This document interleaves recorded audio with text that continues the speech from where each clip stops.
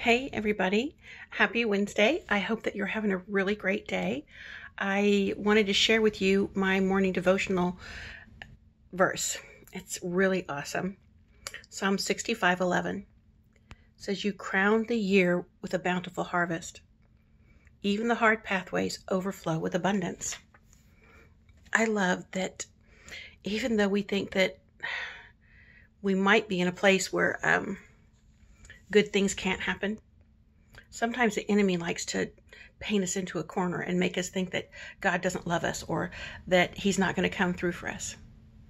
But God promises that even in the hardest places, He will provide.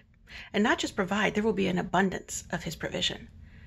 So if you're there, keep praying, keep singing, keep, keep telling God, thank you. Keep saying, Lord, I know you're coming. The enemy can't stop you.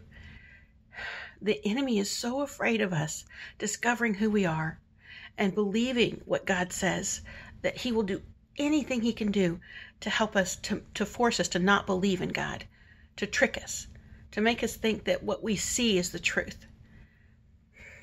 And it may look like we are surrounded by this giant army of pain and just lack, but it's a lie.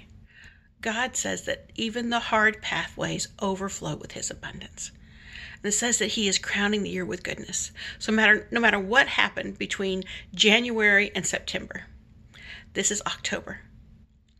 God promises that the next three months are going to be blessed and that something amazing is going to happen for us.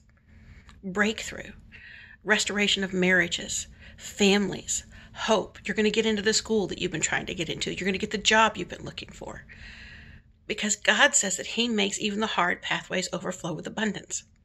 Something is going to happen that is going to make a breakthrough for you because God is faithful. God never lies, and He always keeps His promises. I love you all so very much. Remember to be kind. Remember who you are and whose you are. That even in these dark places or in these dark times, we will continue to be who we are because we are God's children. We love, we share what we have, and we pray for those who are in need and we help. We don't just pray for them, we help them. We do something if we can do something. We are the hands and feet of God.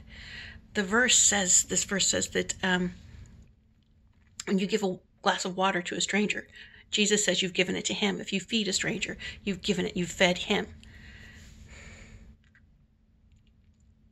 It is time that Christ's church stands up and starts being who they were meant to be loving, kind, generous people who give and don't expect anything in return.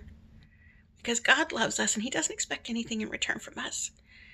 He loves us, He's crazy about us. I love you so very much. Remember today to lend hope. Be kind. You never know what private battle someone's going through. This year, God is crowning it with goodness.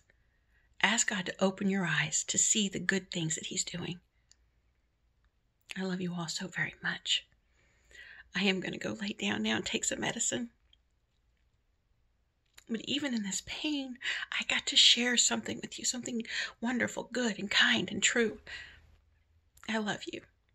I pray that you have a wonderful evening with your family, and I will talk to you tomorrow. God bless. Good night.